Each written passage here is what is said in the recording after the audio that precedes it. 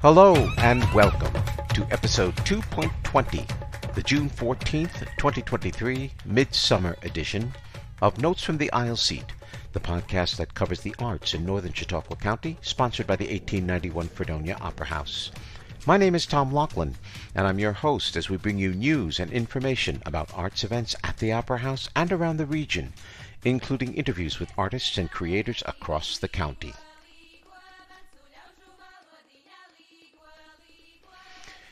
I have to make a confession to you all. For many years, I was under the impression that midsummer occurred in the middle of the astronomical summer season, which is mid June to mid September. That would put midsummer around the first week of August, which, according to the calendar, would be approximately the sixth week of the 12 week season.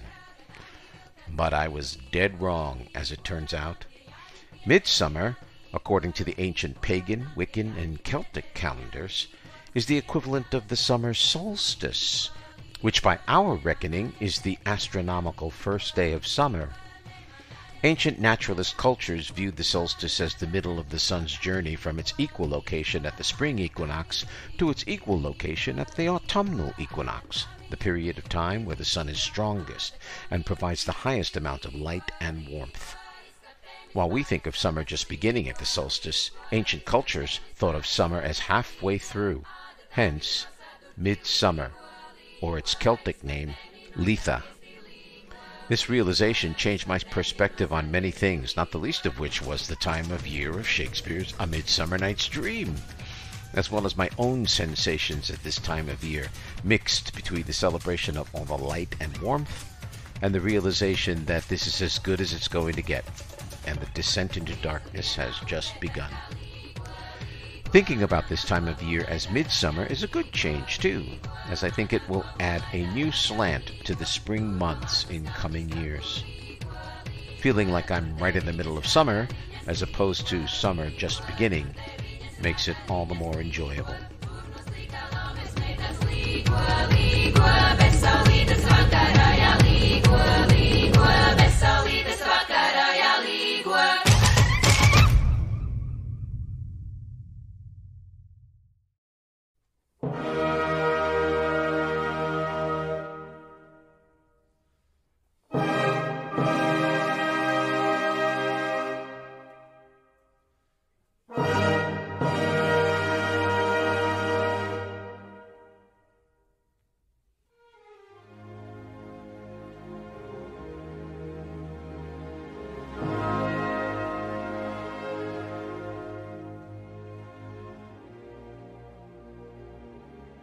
Some scholars have said that Litha is also a Freemason holiday, and the upcoming Live at the Met presentation of Mozart's opera Der Zauberflöte, or The Magic Flute, has been connected to the rituals of Freemasonry, both in its fantastical, magical, mythical storyline, as well as in the rituals and trials its central characters undergo. Professor Emeritus Dan Ihasz joins me in a conversation to discuss some of these themes in the opera, as well as its glorious music. It's always wonderful to be able to tap into the mind of uh, Mr. Dan Ihasz, who was with me to talk about uh, the Metropolitan Opera's Live at the Met production of The Magic Flute coming up at the 1891 Fredonia Opera House. He is retired professor of voice and on the voice faculty at SUNY Fredonia. Dan, as always, welcome. Oh, Tom, thanks again for having me. This is this is one of the first operas I was ever involved in as a student, and I've seen it many times, uh, many different kinds of productions. And in fact, uh, I was at a recent production that was an all Fredonia cast at uh, in co- uh, collaboration with the Buffalo Philharmonic, conducted by JoAnn Falletta, and oh. it had all all Fredonia students and one Fredonia faculty member in it. Uh, was produced by Julie Newell uh-huh. and directed, stage directed by Paul Makovic. Wow! And this was this was a concert version, yes. Yeah, it, they were. It was staged, and uh, there was there's no room on the on the stage when the BPO orchestra is up there to have a set. Right. But there were costumes and it was all staged. Oh, um, costumes. I didn't even realize it had costumes too. Great. Yeah. Yeah. It was really exciting and very colorful. I think Laurel uh, Wolford maybe had done the costumes as well. Mm-hmm. Um, and some of the leads, uh, Papageno was Michael Hawk. Oh, um, Michael! Michael's coming to the 1891 Fredonia Opera House in concert. He's going to give a a, a a, solo concert coming up. That's great. That's right. That's right. And John Toronto, you might remember him. He's he's from Orchard Park originally, I think. Mm-hmm. Um, uh, alumni from here. Fantastic tenor. Mary Hangley was the Pamina. She was just fantastic. Mm-hmm. Um, our recent Pops concert, we had Jordan Pitts, who's also from Buffalo, as one of the soloists, but he played Monostatos in that production, so that was nice. Oh, Amanda wow. Bottoms was also in that production. It was it was wonderful. We had it was all Fredonia. Fredonia. Uh, uh, Adam Luebke was conducting the chorus, which was made up of all Fredonia students, wow. so on and so forth. It was just wonderful. Wow, how did I not find out about this? This sounds like a terrific thing to go to.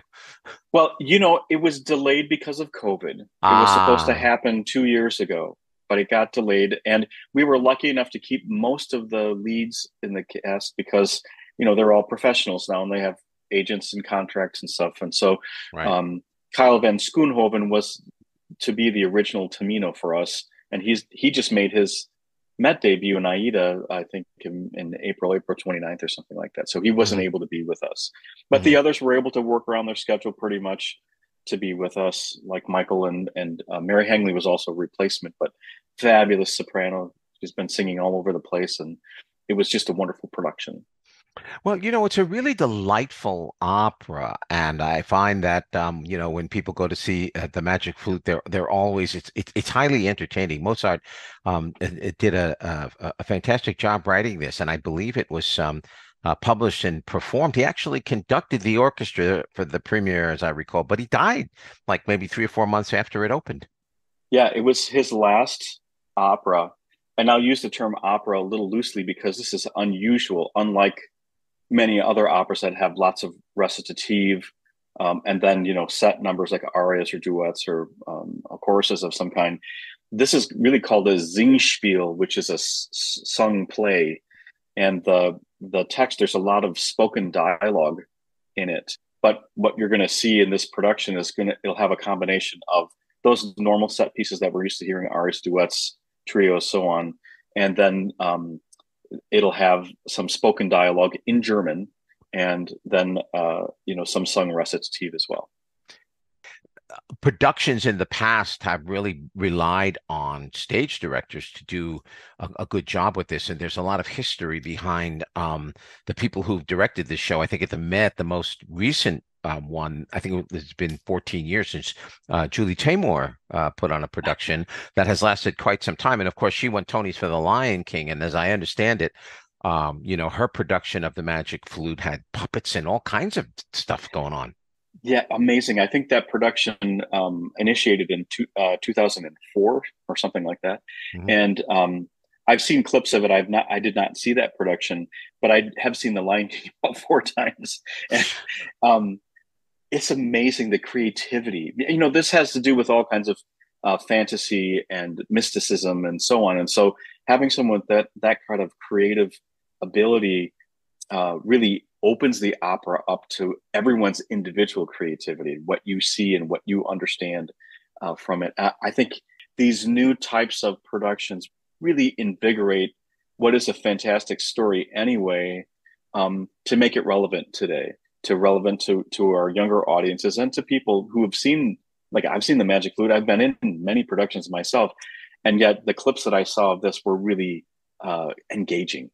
The stage director for this is Simon McBurney, and he is probably better known to American audiences as an actor. And if I name um, some of the uh, movies that he was in, um, such as uh, I believe he, has been in uh, Harry Potter and the Deathly Hallows Part One.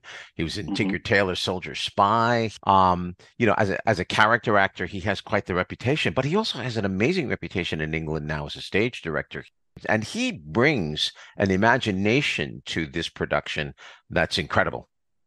Oh, I, I watched the clip that's on the uh, Met web website about this.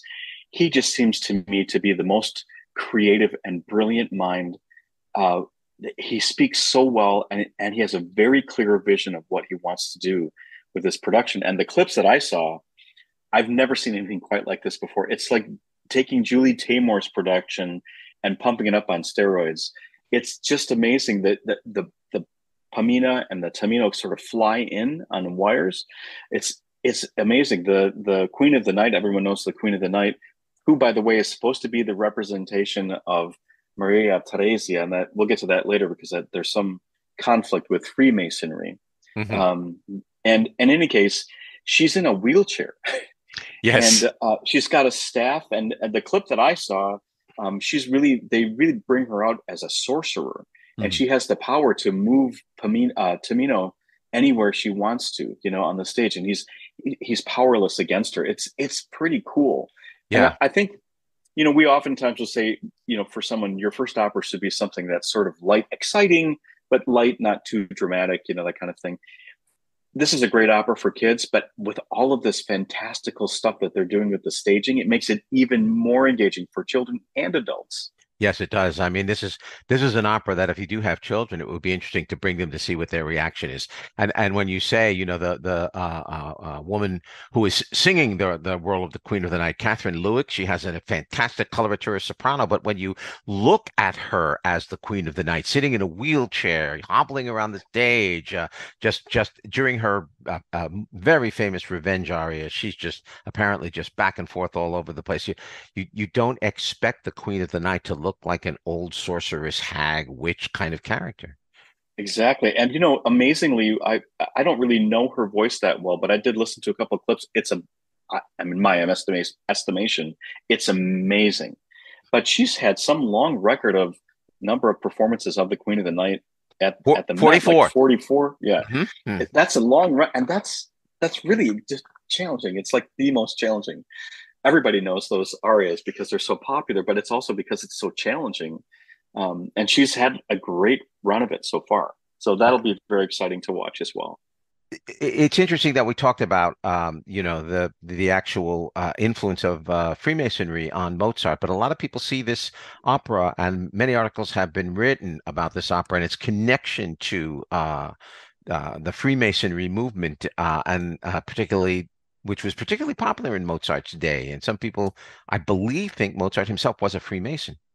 Yeah, um, my my understanding, and from what I've seen and read, that he was part of the Freemasons. It's a secret society. No one's supposed to know that you belonged to it. No one's supposed to know what you do. Every time I asked about Freemasonry, I'd get some vague sort of answer. And I think even doing some research on it, you don't get a lot of clarity you know you you don't find their doctrine. Like if you look up the presbyterian church or the catholic church or something like that you're going to get you know here's the doctrine that they believe. But i think it's really interesting. We have free we have a masonic temple here in town. Every little town seems to have one. Mm-hmm. um, so uh, you have to help me out here because i don't really know the exact details of what they believe.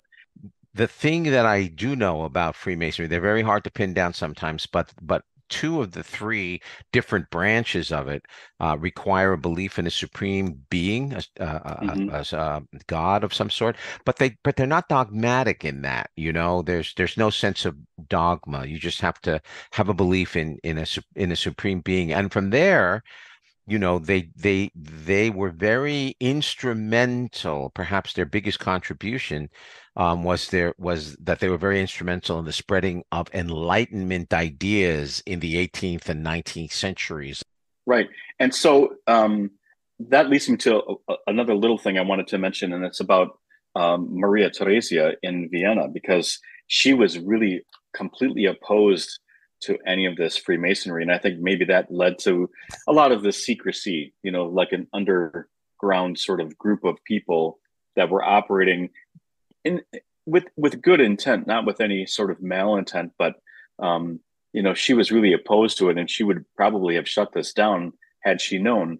But Mozart and Schikaneder, who was also Freemason, the librettist Schikaneder, uh-huh. librettist, um, they they wove the whole initiation process of Freemasonry into the story of the magic flute. Yes, and um, that's the trials that that both Pamina and Tamino have to go through so that they can share their their true love. And really, the basic line is that the, the universal theme is that true love will win out in the end. Correct. And everything will be in harmony and so on. Uh, right. And, and, and, and, true love represents that enlightenment, that wisdom, that that that that so on and so forth that uh, is is in, is involved in that. Um, it's a rather involved story, actually, when you come down to. It's very hard to summarize in a in a podcast, but but it is really a journey towards true love and enlightenment and harmony, ultimately within the world. So I have a quote uh, from a, an article I found online, which I thought was really good, and it sort of sums it up pretty succinctly. It says a common Masonic theme is that music has the power to transcend human fear and hatred.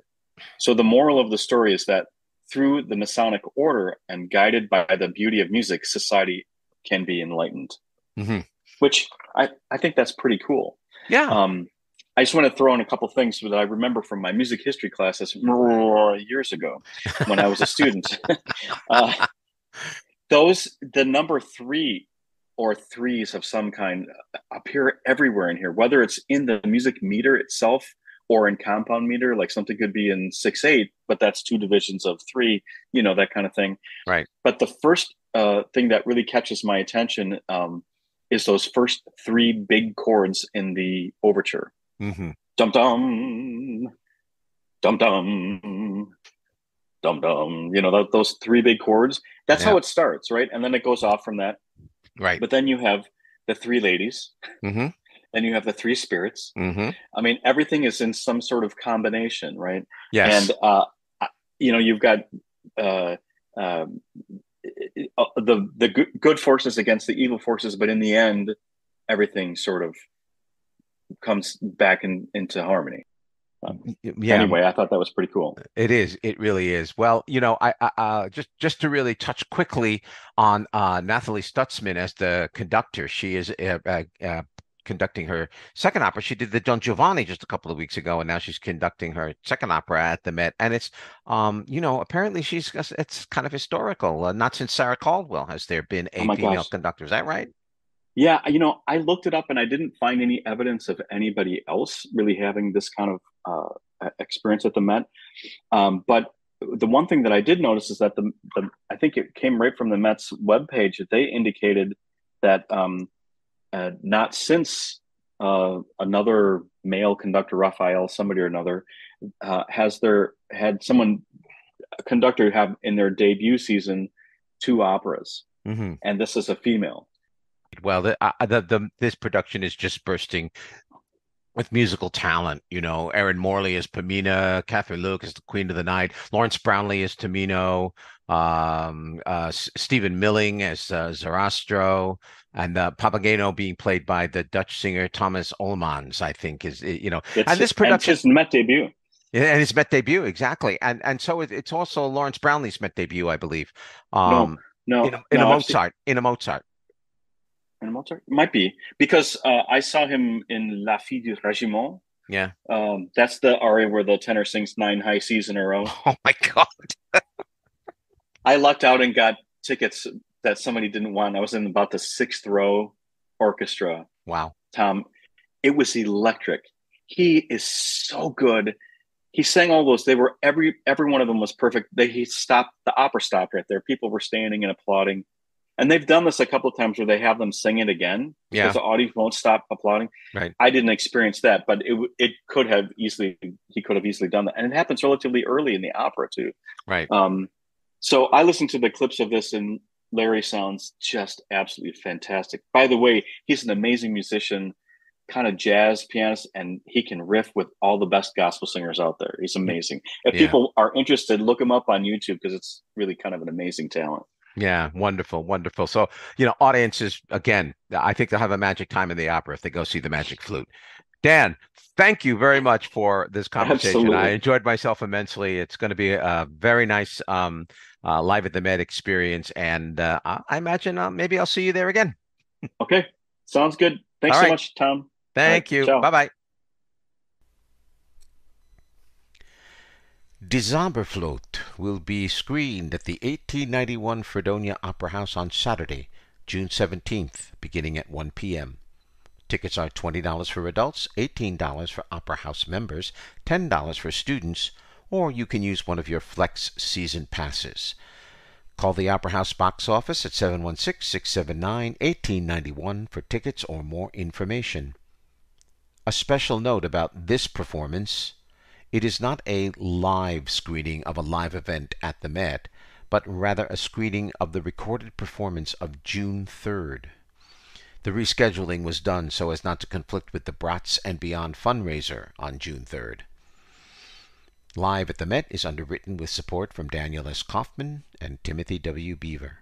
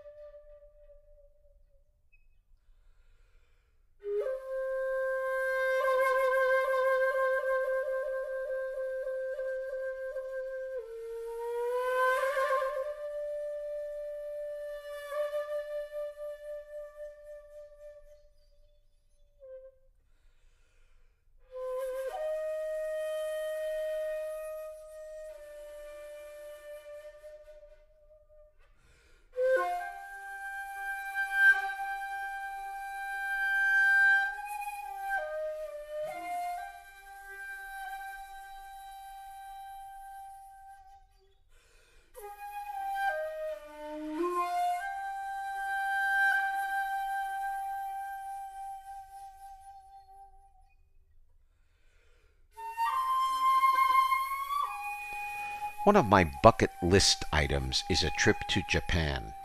I have always been intrigued by Japanese culture and art, and the manner in which they apply intense focus and discipline to almost every aspect of their society. The next exhibition on screen, entitled Tokyo Stories, focuses on the development of the visual arts in Tokyo from its beginnings as the city of Edo, rising to the international prominence Tokyo has in the 21st century. I was very, very fortunate to find a visual artist who has spent almost 30 years in Japan as a Westerner, practicing and exhibiting his work in Japanese art galleries, a very rare occurrence. Adam Cooley is a native of Western New York, currently living in North Carolina, and I was fortunate to get a little of his time as he prepares to return to Japan with the lifting of COVID sanctions he gives us a perspective of his experiences with Japanese art in this interview. Well, it's great to be joined by Mr. Adam Cooley. Adam is an artist who is uh, currently living in North Carolina, but he spent a good portion of his time as an artist um, in various locations in uh, Tokyo, uh, Japan, and elsewhere. And it's great to have him on the program. Thanks for doing this, Adam. Much appreciated. Of course. Thank you for having me. You bet. Um, now, as uh, as, as you know, this isn't really uh, uh, so much about uh, the uh, documentary Tokyo Stories because that's going to speak for itself, and neither of us have seen it yet. We've seen little clips of it and so on, um, but it does look like a fascinating um, uh, documentary. Um, but more so, you know, we wanted to get your perspective on the art scene in Tokyo. So we'll ask you a little bit about that, and then we'll go from there. So, in the first place, of course, give us a little bit about your background as an artist, what kind of media you work with, and and how you got to Japan. Okay, so uh, my name is Adam Cooley. Um, I'm mostly a painter um, and, sculpt- and sculptor, and I also got into performance art initially. Um, so I ended up, it was kind of a series of fortunate accidents that kind of led me to Japan. I was supposed to go to India. I had my ticket booked, and right about to fly out, and there was a cholera outbreak, and my this is travel agent period. So it was like my travel agent called me and said, "Oh, the flight would be fine, but you won't be able to get a visa. So what do you want to do?" And I was, "Oh, I'm supposed to fly in three weeks," and I said, "Oh, I don't know what to do." So she said, "Okay, how about to go someplace else?" I said, "Okay, where?" And she said, "How about Japan?" And I said yes. And two weeks later, I was landing in Tokyo, landing in Narita actually. So interesting. That's an interesting story. Yeah. so so it, you have uh, spent a, a, good amount of time, at least over 10 years or more. Um, uh, 30, working... yeah, about 30, 30 years. 30 years. Oh my, it's even more than I could tell from your from your bio. 30 years um, uh, working and exhibiting in Japan. Can yeah. you give us an idea of what it is about the scene, the art scene in Japan that that uh, kept you there all those years? Um, I think for me, I I really liked the. Uh, initially, I liked the culture, the traditional culture. I I live mostly um, in Osaka, but I mean, I was my art dealers in Tokyo, so my exhibitions are in Tokyo, Kyoto, um, Nara. I mean, all all over the country. Um, but I, and I really fell in love with the underground aspect of the art scene. So I think that, I mean, the not so at the time it was the not so famous art scene in Japan, um, and I just kind of fell into the the flow of things, and um, yeah, so I've been very fortunate. Yeah, I, I, is do you think it's unusual that uh, coming from the United States to be able to exhibit so much in Japan? Is that an unusual thing for you to do? Yeah, yeah. It was. I was definitely. I know that the uh, the get well, I, at least two galleries, and one of them was a 400 year old company that has their own gallery, and I was the first living foreign artist to exhibit there. Um, but like I, I had an exhibition where they paired my work off with um, Kusama Yayoi, the mm-hmm polka dot. Yeah. So yes. So yeah, that was very. It was a. It just happened to. They, they, they that gallery is a. It's a big gallery in Kyoto. It was like it's one of the oldest businesses there, um, and they have a a very. They actually have a, a museum on the top floor, um, and then they have uh, another gallery which I was on the fifth or seventh floor. I think the, the the museum's on the eighth floor, and that that time they had uh, Kusama Kusama Yayoi's artwork. Mm-hmm. So they wanted to have, and I was the first at the time. I was the first foreign living artist to exhibit at that gallery. So they wanted to have this pop Japanese icon and this foreign odd artist um, at the same time. So it it was uh yeah it was a very uh, nice experience. I didn't have the chance to meet her unfortunately and uh, they also had uh, I, I had an exhibition at the Red Brick Warehouse, which is no longer there, but I know that they had uh, flown in uh, Ono Yoko's train car. I don't know if you're familiar with it. It's a it's a, it's a train car, uh, just a giant train car that's full of bullet holes, but they had shipped it over, and I don't know if she had. A lot of artists attend or secretly attend, or they like pop in. Um, but I I know I missed her. That mm. was and that was I think we was like a a week or two between her exhibition ending and the uh, piece I did there opening. So, but yeah, it was kind of br- brief, very lucky, lucky, lucky chances. So uh, there's very few actually. There's a lot of foreign artists in Japan, but there's very few that really exhibit regularly. So that so, puts you that puts you in a, a, a quite an interesting uh, class. Yeah, yeah, yeah. I think uh, and uh, the Japanese art scene. I think if you're going, um, they definitely have a lot of school style or group style pattern. It's like Amway almost. So they have the uh, highest level, like you you earn your rank and move up, but you're like a, a deshi a deshi. Um, so you have your teacher and you are a I don't know the word in English. Um, it's basically you're uh, apprenticing. So it's like it's you're ranked down. It's the same for like tea ceremony or you give a flower arrangement, um, where you have like the masters at the top and it kind of pyramids down and you do a lot of group shows and you yeah but i never i never went that path um, can you sort of give us a, a, a, bit of a background when you look at uh, Japanese art and uh, particularly contemporary art? Because I think they're going to see a lot of that in the documentary. I think it goes from the uh, wood blocks, um, the wood prints that they that they had, all the way up to lithography, painting, photography, the, uh, video work, that kind of thing. Um, and, and, it goes from very traditional to very pop art. In fact, um, what what do you find to be the kind of the uh, underlying, perhaps, um, uh, artistic motifs or philosophies of Japanese art that sort of make it distinct? Well, there's wa. Wa is like the universal, like wabi sabi. It's the the, the Japanese um, aesthetic, um, and I think that goes it bridges all everything. That bridges like the new and the old. Um, but I think they're they're dramatically different groups so if you're going for woodblock printing, that's very um, the structure is very hierarchical. So it's you have masters and students, and it's very traditional. It's a it's a craft. So I think a lot of times Japan, when they look at art, it's from a craft craftsmanship perspective. So it's so when you get into like modern stuff, especially a lot of the stuff that's popular in the West, might not be as popular in Japan, even though they're Japanese artists. Mm. Because a lot of times the originality to be original and unique isn't necessarily a good thing. Yeah, you have a few breakaway. I mean, I know like as I mentioned, like Kusama Yayoi has always done her own thing, and and she just like skyrocketed um, with her work. Yeah, but I think but even with her work, there's still that wow, that Japanese um, theme that that I don't know. That's something that, and I also think the uh, the colors that you find in Japanese art don't necessarily translate to Western tastes a lot of times. I mean, and I think it's, I think unfortunately, I mean, and it's an unfortunate thing. I think it's, it's like acquired taste. Like people can come here and eat California roll. It's not really sushi. I want to say no, it's not really it. I think it's the same with Japanese art. I think, I mean, unless you're looking at very traditional things, like, um, yeah, I think there's a, a, a gap at times. Now, I mean, like calligraphy is even for me. I was lived in lived in Japan for 30 years.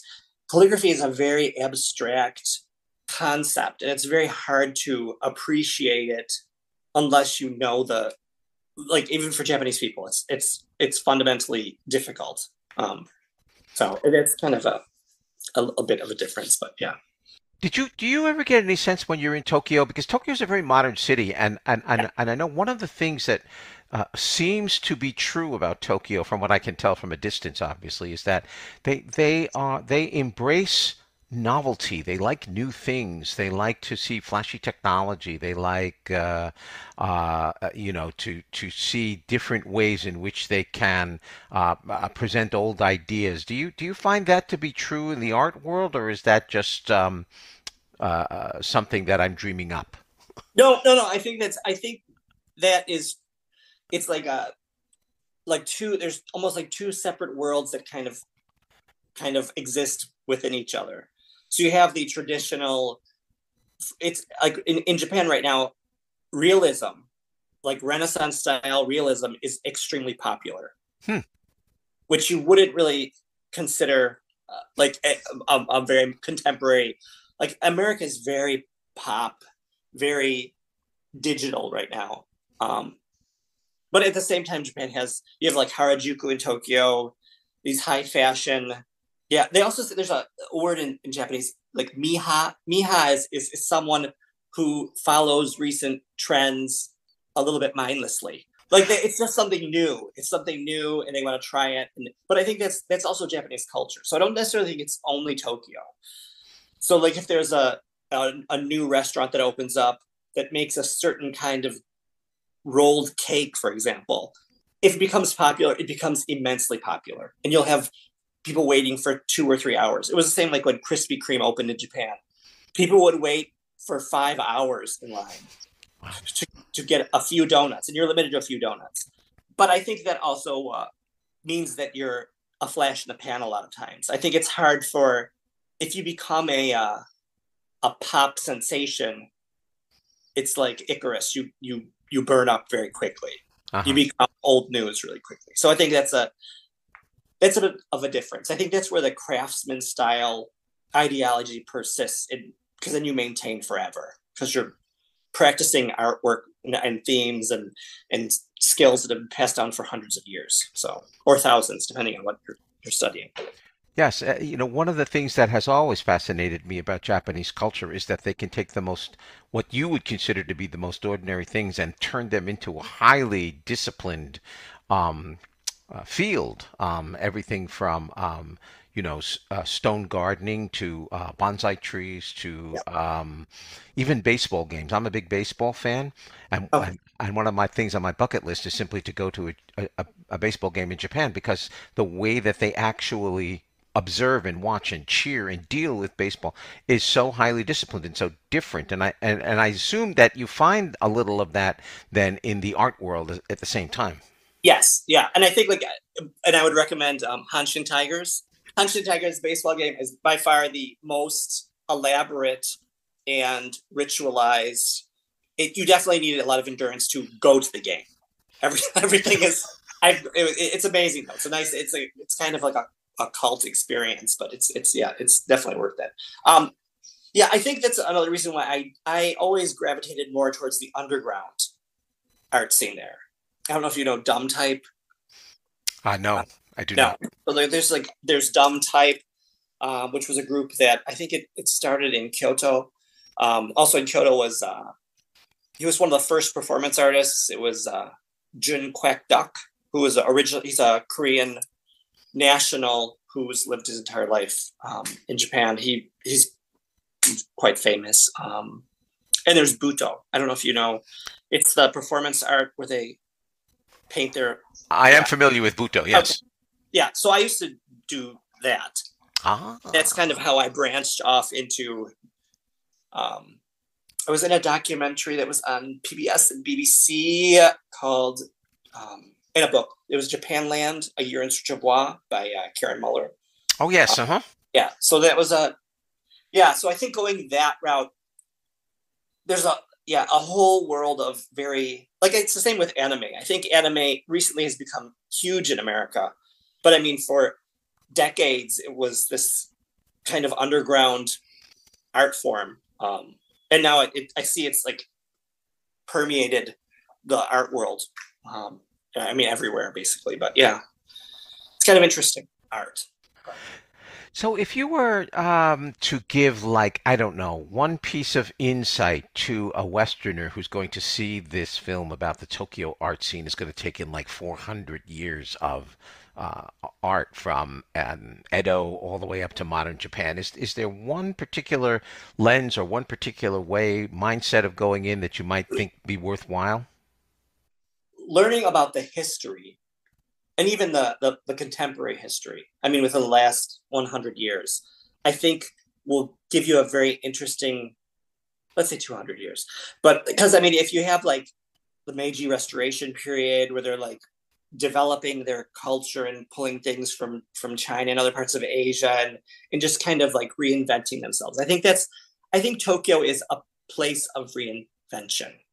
Tokyo is a little bit like New York City, where you have people that are actually from New York, and then you have a lot of transplants. Mm-hmm. In Tokyo, I think is probably 80% transplants.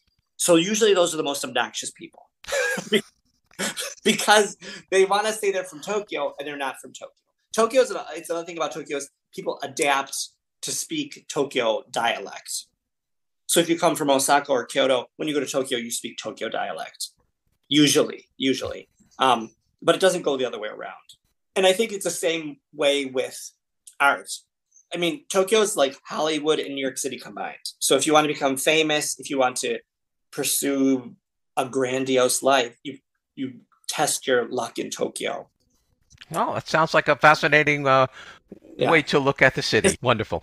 Listen, Adam, I really want to thank you for your time. It's really been kind of eye opening to listen to you talk and get your perspective on Tokyo and the art scene there because, you know, um, you're you're one of a kind as far as I can tell right now. So I do thank you for for uh, taking your time to talk to us. Okay. Have a nice day. And good luck with your next exhibition there. Yeah. Yeah. Thank you. Okay. Bye bye bye.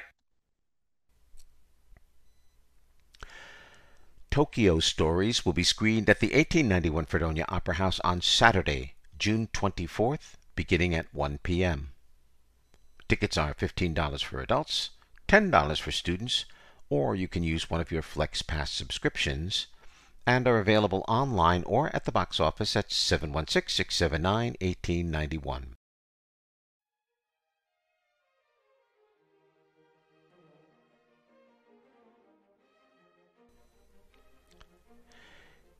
Here is the arts calendar for the upcoming two weeks. Speaking of things Japanese, the Fredonia Academy Week, sponsored by the SUNY Fredonia School of Music, will kick off its Festival Music of Japan Week, beginning on Monday, June 19th, and continuing for the next five days. You can get all the information on the events associated with Festival Music of Japan by going to the university website at www.fredonia.edu and following links for the School of Music. The summer season at Main Street Studios will begin on Thursday, June 29th, when a four performance run of the popular Frank Loesser musical Guys and Dolls will open. Performances are Thursday through Saturday, June 29th through July 1st at 7:30 p.m. with a Saturday matinee at 2 p.m. You can find out more about upcoming summer events at Main Street Studios by going to their website at mainstreetstudios.org backslash events. And finally, the 1891 Fredonia Opera House has a special announcement about an exciting event coming in the fall. On Friday, September 22nd, 2023, at 7:30 p.m., Broadway veteran Eden Espinosa will be performing in concert at the Opera House. Ms. Espinosa is most recognized for her critically acclaimed portrayal of Elphaba in Wicked on Broadway and in Los Angeles and San Francisco. Other Broadway credits include originating the title character in Brooklyn the Musical, Flora in Flora the Red Menace, and Maureen in the closing company of Rent. Her television appearances include shows such as Law and Order, Ugly Betty, and Elementary. Espinosa's debut album, Look Around, charted in the pop iTunes Top 50 between Adele and Katy Perry. Her second album, Revelation, was released in 2019. This is sure to be an exciting event at the Opera House, so be sure to watch out for more information about tickets in the upcoming weeks. You can read her complete bio in the Opera House's weekly email newsletter. And remember, if you have an arts event coming up and would like to get it mentioned on the arts calendar, please send us an email to operahouse at fredopera.org or call the box office at 716 679 1891 with your information.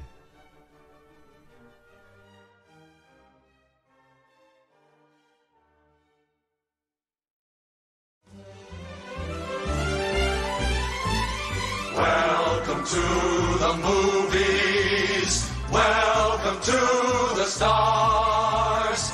Welcome to this grand illusion. All of it's yours. Right through these doors. The cinema series continues in June with screenings of two comedies Somewhere in Queens and Book Club The Next Chapter. And there's no one more qualified or interesting to talk to about movies than Fredonia graduate and Hollywood man about town, Paul Preston, the movie guy. Ladies and gentlemen, the movie guy is here to talk about the next couple of movies coming up in the cinema series. And every time the movie guy shows up, you know you are going to have a good time listening to him. And is uh, because his wide expanse of knowledge in the movies is incredible. So here he is, the movie guy, Paul Preston. Paul, welcome. Yes, and who doesn't love movies? Come on, you do. Regardless, even if it's summertime and you're like, these movies are all dumb. They're not all dumb. So That's right. get out there and see something. That's right. Well, you know, actually, um, unfortunately, I probably won't have time to talk about that. But there are a couple of movies out there I think I might want to see. Oh, like blockbusters? Yeah, like I Oh. might want to see Indiana Jones. I might want to see that last one, right? Well, tell you what, I've got a little scoop. As a guy who lives in LA, I happen to be friends with the right person who got me into an advanced screening. And Oh. if you you know my history with indies since Yes, Raiders of the Lost Ark and 15 years waiting for this new movie. I will keep it brief because it's not coming to the Fredonia Opera House in the near future, but maybe in the, you know, who knows when. But uh, I will say after the the mixed bag of reviews it got coming out of the Cannes Festi- Film Festival, raise your expectations. It's fun. It's a good, solid final outing for the legendary hero.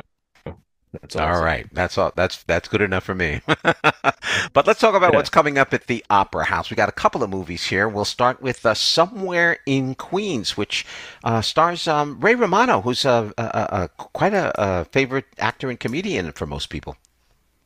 Well, you know, the Opera House always bringing the counter programming to the summer stuff, and rightfully so, and and thankfully so too, because these you know chowder-headed summer movies, you know, they're not all Indiana Jones. There's Fast and Furious out there. There's you know Super Mario, but there's dumb stuff that uh, we need to get our you know adult fix to counter. Mhm. And uh, Ray Romano, this is his directorial debut, and it's decidedly adult. Um, it- it's a comedy drama, not not profane and full of nudity and all that, but just compared to sitcoms that he's known for. The movie delves into more complicated relationships, and I think we've talked about how great it is when relationships are complicated on this very show before, because you always bring the sort of you know uh, intelligent movies that play at the opera house, Mm. and these characters make very difficult decisions in Somewhere to Queens, and that's where they find the comedy. So even though it sounds like a drama, everything I'm describing, this is a comedy, and it's about um, Romano and Laurie Metcalf. They play Leo and Angela Russo, who have a very shy son, but suddenly he comes alive on the basketball court, and seeing a future for his son in a family that could just be like going right into the family business, you know, just like Leo did. You know, Leo thinks, hmm, what can I do to help my son achieve a different future? And he goes to shocking lengths that I will spare you because that'd be a spoiler.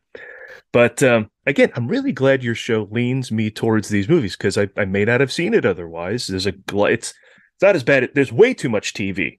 Mhm. Like people tell me, hey, you haven't seen blank show. Do you know how much TV there is? There's a There's a ton of TV. I can't keep track of it. can't. There's not a, a ton of movies, but there's still enough where something like this might have slipped by. So I'm glad the Fredonia Opera House is going to bring it so you can check it out um, without letting it get just out of your way of seeing it in a big screen. Because the laughs come in as a group, you know, that's always much more uh, satisfying than just sitting at home. Uh, now, I already mentioned Laurie Metcalf, so you know it's going to be good. She's awesome and is awesome again here. Her comedic chops are on point, and her humanity is always a welcome addition to her uh, characters that could otherwise be one dimensional. I think she brings that a lot of the time. You know, in the wake of her son's desire and could possibly go to college, you know, she's got great one liners, but she also has real pain, anger, and fear of him leaving at play too. So all those things get played in a nice mix. Uh, Romano plays Leo like a, a beaten man. He is physically sort of almost crumpled over. You know, when he walks, it kind of is like a shuffle that you know he's struggling through the weight of his what's on his shoulders as opposed to confidently strutting through life you know Mhm. uh, if you've seen him in his dramatic roles since everybody loves raymond like the big sick or the irishman he's really good and so i i like when he takes these uh, bigger swings after that sitcom I very much was impressed in the trailer to see how old he lets himself look as compared to, you know, his sitcoms. Well his show following everybody who loves raymond i think was men of a certain age which i think Mhm. was 50 It's Mhm. got to be 10 years ago now. So.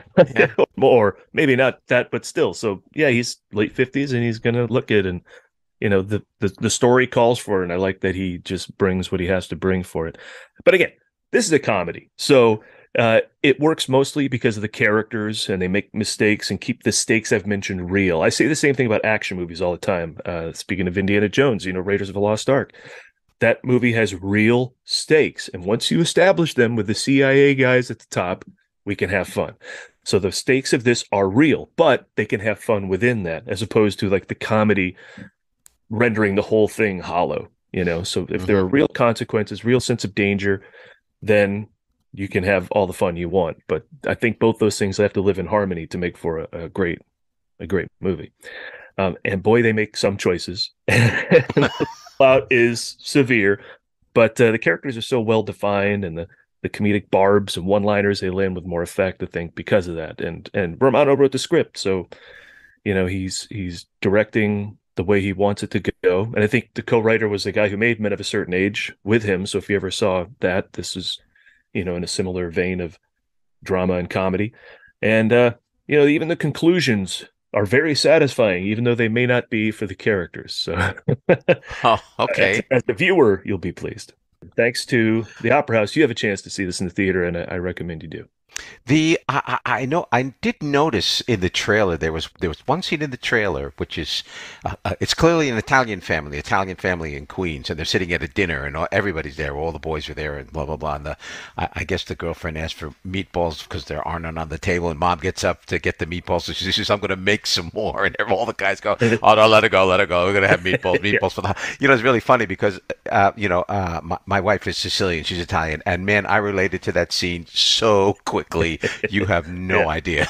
yeah, you know, dinners dinner's going to start around four and around nine thirty. Yes. Oh yes, yes. If I had the time, I'd tell you this story, but um, I don't have the time.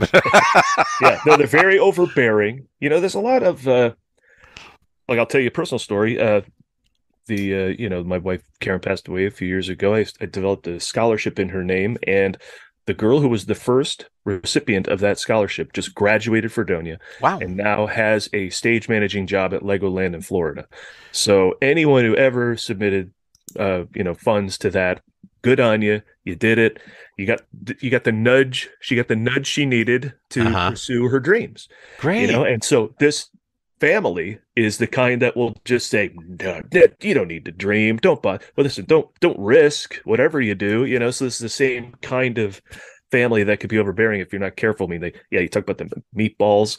They they end up in the same like banquet hall five times in the movie. Someone's having a baptism or a wedding or anniversary. It's just routine, routine, routine. And you know, Mhm. Romano's character sees something more for his kid, and again, that launches the whole film. So yeah, I'm glad you found it familiar. A lot of people will, I think. That's what I think too. I mean, the minute I saw that scene, I said, I think people are going to like this movie just because they'll catch the the the familiar the family situations, and it'll seem quite familiar to them. You know, Yeah. uh, nothing nothing spectacular about the film per se. Um, in terms of its setting, you know, I, the spectacularness comes in terms of the characters, and I love character driven movies. Love them. Well, yeah, let's let's move from um, um, somewhere in Queens, which of course takes place in uh, uh, uh, Queens, New York, or rather, um, you know, uh, middle class type of neighborhood, to a movie that gives us exotic venues, and that is uh, the book club, the next chapter, and it has uh, four fabulous women in it um, who have Hollywood careers. Again, if if you think.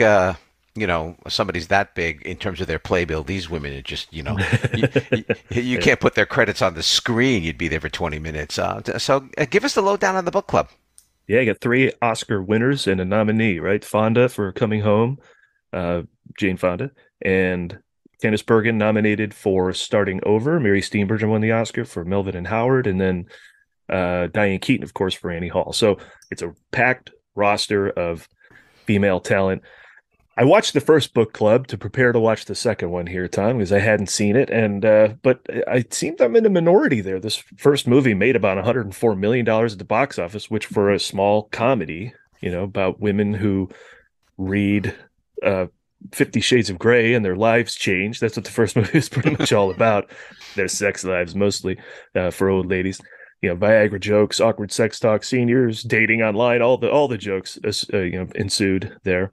Mhm. Um, but they're all back now for uh, book club the next chapter and it dispenses really kind of with the book club angle except for occasional references to what they're reading when it parallels their real life adventures. Other than that the sequel kind of really dives into the characters and their relationships kind of where they are now and what are the new stakes with this trip to italy and why they're taking it. One of them gets engaged in her 70s so they go to have a bachelorette party of uh, of old ladies. Now, but this is this is the main thing to point out here.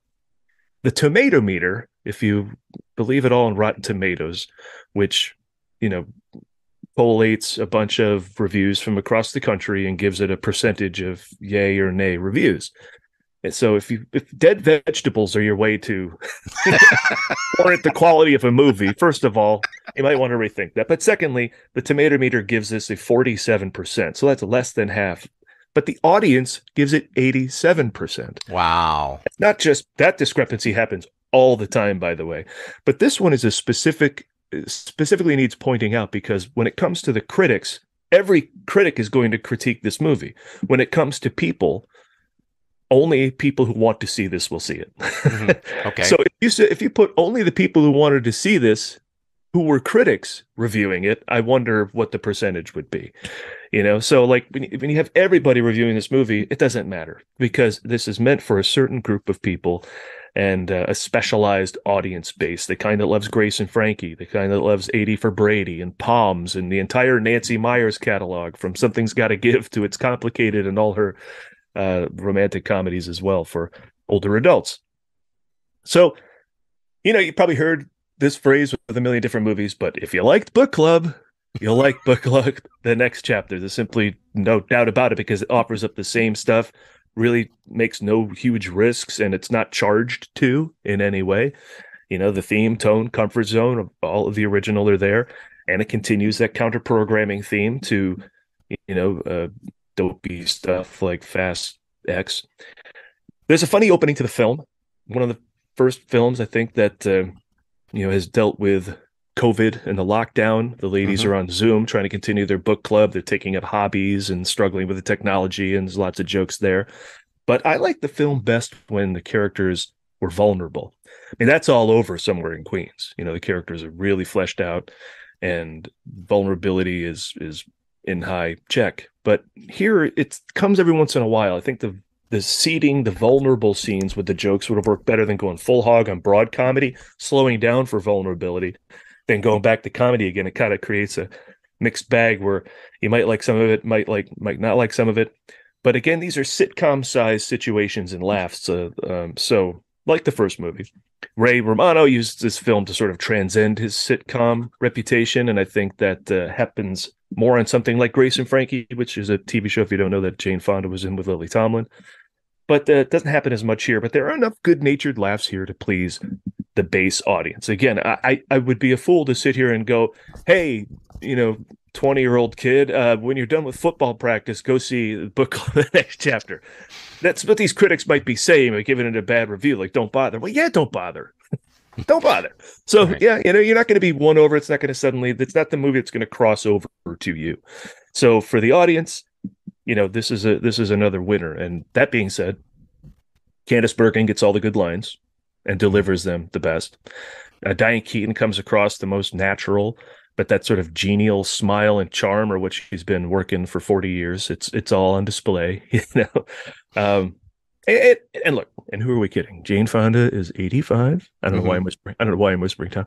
Uh jane fonda is 85 bergen and keaton are 77 steenburgen just turned 70 jane fonda's 85 okay so if you want to see the legends in action i do it now well, yes. I mean, actually, thinking of Jane Fonda as 85 is, is a bit shocking for me. I didn't know she was quite quite that old. Wow. and we all laughed when she did her workout tapes Yeah. Yeah, we should we No. should have joined in because uh, Yeah. yeah, she's looking great. And they bring the whole gang back. You had Andy Garcia, Don Johnson, and Craig T. Nelson in supporting roles as the men in their lives. And I Uh, imagine, and I got to imagine that the, the cinematography and the locations are fabulous. Well, that's the other thing I was going to say. If you get the chance to see this stuff on the big screen, I mean, I went to Italy eleven years ago, and there's all the familiar, oh, the Trevi Fountain. Oh, there's the Pantheon. Et cetera, et cetera. And then they go to Venice. They go to Tuscany. They're all over the place. So yeah, those those uh, pictures are going to play majestically on the big screen. So, Paul, before we go, we get a quick recommendation from you. Uh, it's the summer blockbuster season, and I know you probably know what's coming up. So, you know, give us a thumbnail sketch just quickly. If we go to the movies in the regular movie theaters, um, what, what are you looking at? Well, I already recommended Indiana Jones, but this Spider-Man Across the Spider-Verse, Mhm. if this doesn't win Best Animated Film, it is going to win Most Animated Film. This movie is insane. Like the first one before it that won the Academy Award for Animated Film, Spider-Man Into the Spider-Verse.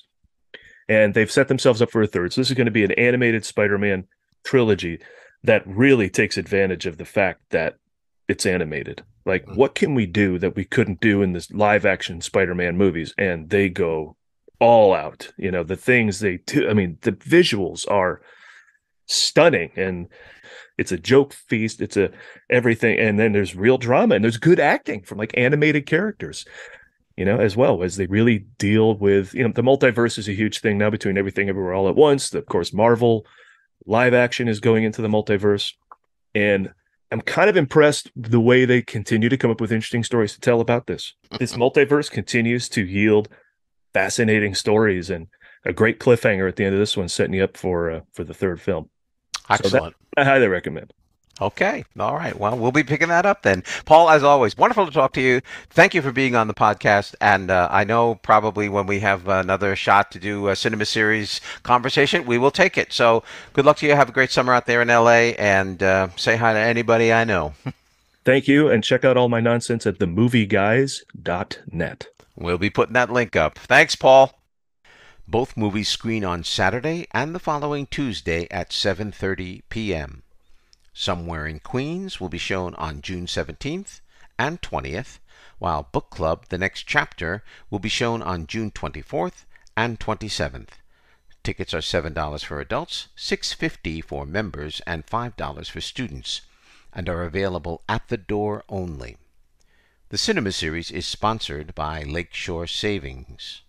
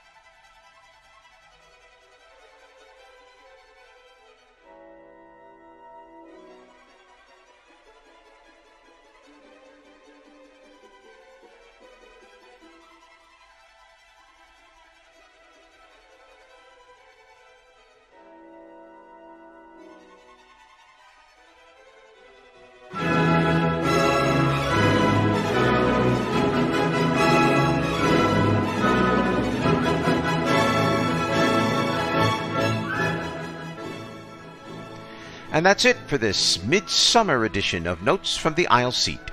My thanks to Mr. Dan Ihasz, Mr. Adam Cooley, and Mr. Paul Preston, the movie guy, for being my guests on this episode.